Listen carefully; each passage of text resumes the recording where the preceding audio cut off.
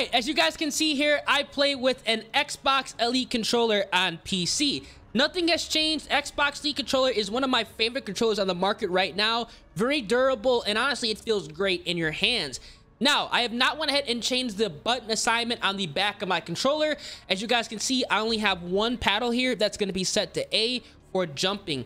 Now, my button layout has also remained the same. I'm running tactical. Tactical is going to be the absolute best button now to play on in Modern Warfare 2 because we can get in and out of cover a lot easier and you can also perform a drop shot which can help you guys out at those close range engagements. You guys have probably saw in a lot of my gameplays that I like to go ahead and get in and out of cover as well as drop shot when I run into either a shotgunner or somebody at point blank range.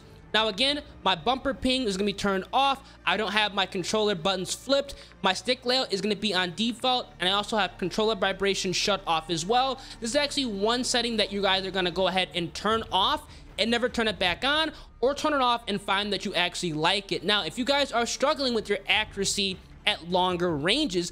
I highly recommend you guys going ahead and turning off vibration. You want to have as little stick player and controller as possible so you guys can be as accurate as possible at long ranges because that's where people are going to fall short.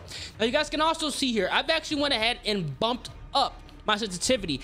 Normally, I'd be rocking either a 3 or a 4. I've now increased it to a 6 horizontal as well as a six vertical. I've always been an advocate of running a low sensitivity, but as I've gotten more used to Modern Warfare 2, I've decided to go ahead and bump that up, and I've been seeing a lot better improvement in my gameplay as far as taking people out at close ranges. Obviously, coupling that with the tactical button layout is going to be a huge positive. Now, you guys can also probably see here that I've actually changed my ADS sensitivity in multiplayer. I've actually bumped this down to compensate for the higher sensitivity that I'm now running. I used to play on 0.75 because I'm now on 6. I like to go ahead and mirror this. I'm putting this at 0.65 so I have as little stick play so I can be as accurate as possible at longer ranges but still running a higher sensitivity setting. Maybe in a couple months, I'll bump this up to maybe a 7 or an 8, but in all reality, I feel that 6 is going to be the best compromise. You can still turn on players,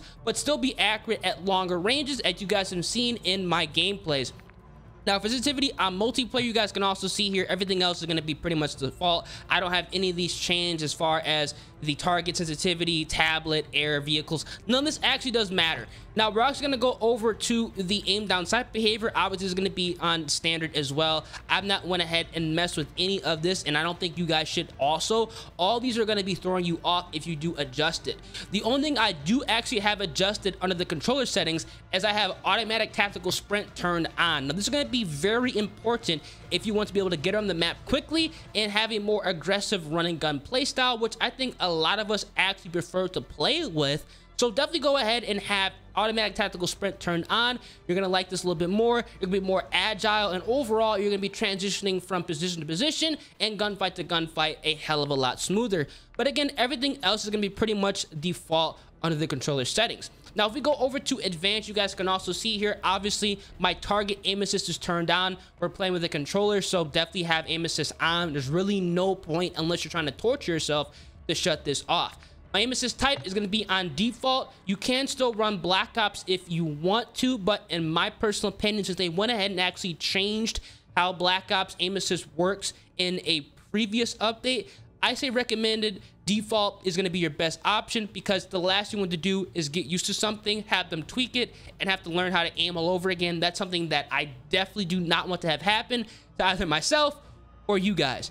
Now, again, everything else here is going to be pretty much actually turned off here. I don't have a gyro controller, so I don't actually mess with any of these settings. These are going to be shut off because they're going to be completely irrelevant.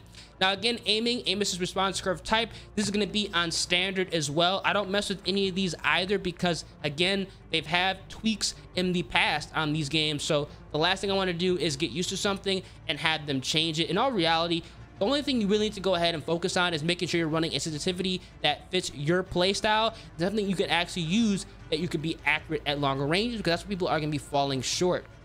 Or again, everything else is going to be pretty much the same across the board. Now, here is the dead zone inputs here. I don't really have anything changed within my dead zone input. This is going to be one of those settings that you're going to want to adjust based off your controller's health. Now, here's the thing. If you have a Scufflight controller, you're going to have to go ahead and increase your dead zone to go ahead and compensate for the stick drift, the stick play that you might have in your controller. Now, for me personally, this is why I advocate Xbox Elite is because they are durable and they last. So you don't have to go ahead and adjust dead zone based off of your controller's health. If you have a newer controller, the less dead zone you have to run. If you have a older control that has, you know, wear and tear, you're going to actually go ahead and increase that dead zone so you can have as little stick play as possible. Now, I've left all of the other advanced settings the same. I have not changed any of these, and I recommend you guys going ahead and leaving them at default right out the box because these are actually set up pretty solid, and they're not going to impact your gameplay one bit if you guys go ahead and leave these how they were when you guys first load up Modern Warfare 2. Now, under the graphics settings, we're taking a look at the View tab, which is going to be crucial, incredibly important if you guys are trying to improve your aim, accuracy, and gun skill. You guys can see here that I play on a 120 FOV with the ADS field of view set to affected. Now, independent is what it comes by default. You want to switch this to affected. I see so many people, so many people running independent and I don't know why. Affected with a higher FOV set to at least 110 is gonna make it feel like your weapons have low recoil, no recoil. It's gonna make it feel and look like how, you know, some guys might say YouTubers and streamers have aimbot, no recoil, their guns don't move. This is the setting you guys want to enable when you guys are trying to improve your aim accuracy and most important, gun skill. Now, once you guys go ahead and do this, you're going to find out that your weapons, especially if you're running iron sights, are going to be a lot more controllable at longer ranges, and you're going to see a immediate improvement at your long range engagement capabilities. Now, again, everything else is going to be pretty much default here. I've not went ahead and changed any of this. Sometimes people have to go ahead and play on wide. Personally, I think default is going to be your good option. I don't really see it difference going ahead and switching from wide to default. So I leave it the same. The most important thing you want to do is adjust your affected ADS field of view and as well as your regular field of view when just playing multiplayer. Again, all this is going to be pretty much the same here. I'm not messing with any of these settings. These are going to be the two you want to adjust right now. Do it immediately. Now, we're skipping over the quality as well as display settings. You guys might be wondering why am I doing that? That's going to be honestly user specific. I make content on YouTube, so my settings are not going to be what you want to run. And also, I play on a PC. You might be playing on a console. These settings are going to be pretty much irrelevant from what I run and what you guys should be running. And under the audio settings tab, this is going to be very important here. This is why they call me ears, because you want to set your audio mix to headphone bass boost. This is going to drastically improve your gameplay and overall your awareness on what's going on in game. Now, if you guys have a headset, I have Astro A40 TRs. They're a little bit of an older headset, but they get the job done. Honestly, if you've had a headset for the past three to five years, any headset you've bought within the past three to five years, headphone bass boost is going to be important to run because you'll be able to hear footsteps as well as gunfire. So essentially, you're going to be able to figure out where people are at on the map without actually having a UAV, and that's going to be critical, absolutely critical when trying to go ahead and go on high gun streaks or secure an MGB nuke, which I know a lot of you guys are trying to get done, or maybe you guys are already done it, you're trying to get some more.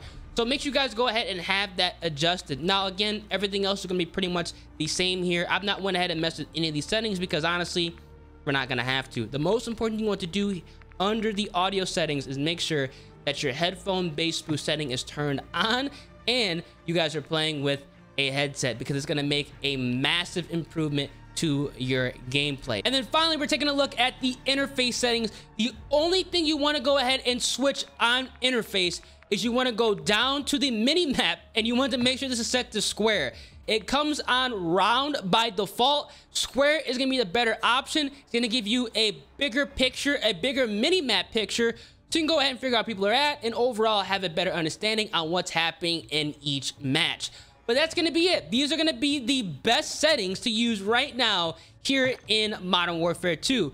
Definitely go ahead and adjust your sensitivity if you have not already, as well as your ADS sensitivity in multiplayer in order to drastically improve your aim, accuracy, as well as gun skill. And for the love of God, guys, go to your graphics setting. I'm going to say it again. Go over to view and make sure you have a higher FOV, 110 preferably, 120, and affected selected, man. You're gonna see a tremendous, a tremendous improvement in your gameplay. If you guys enjoyed the video, make sure you guys drop a like on the vid, subscribe to the channel, and turn those post notifications. It's been your boy Ears.